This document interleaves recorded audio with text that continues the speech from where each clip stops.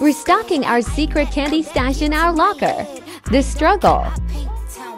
Scotch Mints Mentos and Strawberry Puffs. Mambas. Have you ever had Mambas?